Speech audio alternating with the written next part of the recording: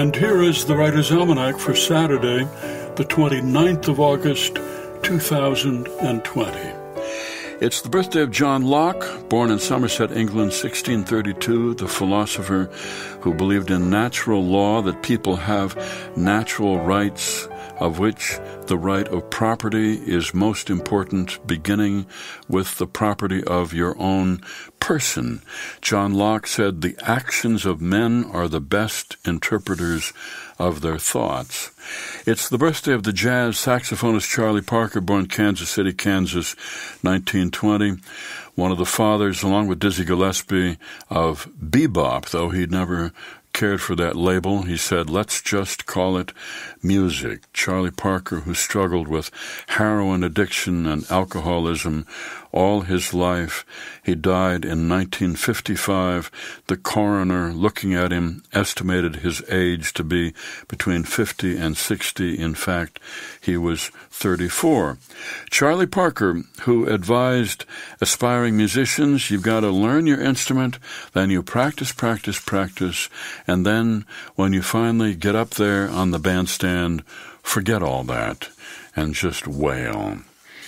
And it was on this day in 2005, Hurricane Katrina hit the Gulf Coast near New Orleans. Most people in the city thought New Orleans was going to dodge the bullet, but reporters from the Times Picayune newspaper went out on bicycles to the levee on the 17th Street Canal, and they found seven feet of water, rushing water, on the main street, rolling south toward the rest of the city.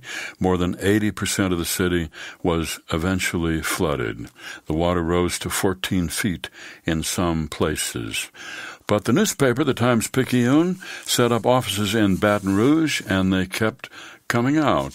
And just a few days later, on September the 2nd, reporters brought copies of the paper to the convention center where many people had been living for days. It's the birthday of Karen Hesse, born Baltimore. 1952, author of books for young adults. She married, she had two children, worked her way through a whole array of jobs waitress and nanny and typesetter, proofreader, substitute teacher, book reviewer. Kept writing, published her first book in 1991, Wish on a Unicorn, and then in 1998, Out of the Dust the story of a girl living through the Dust Bowl and the Great Depression. It won the Newbery Medal and the Scott O'Dell Award in 1998. Here's a poem for today by Emily Bronte No coward soul is mine. No coward soul is mine, no trembler in the world's storm troubled sphere. I see heaven's glory shine, and faith shines equal, arming me from fear. O God, within my breast, almighty ever present deity, life that in me has rest, as I, undying life, have power in thee.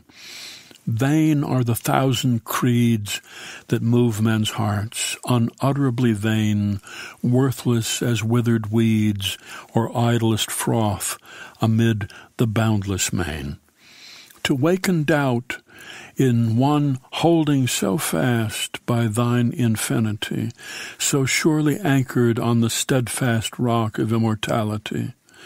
With wide embracing love, thy spirit animates eternal years, pervades and broods above, changes, sustains, dissolves, creates, and rears. Though earth and man were gone, and suns and universes ceased to be, and thou wert left alone, every existence would exist in thee. There is not room for death, nor atom that his might could render void. Thou, thou art being and breath, and what thou art may never be destroyed. Emily Bronte's No Coward Soul is Mine. That's the Writer's Almanac, funded by donations from listeners like you, now available on PRX for distribution by your local radio station. Be well, do good work, and keep in touch.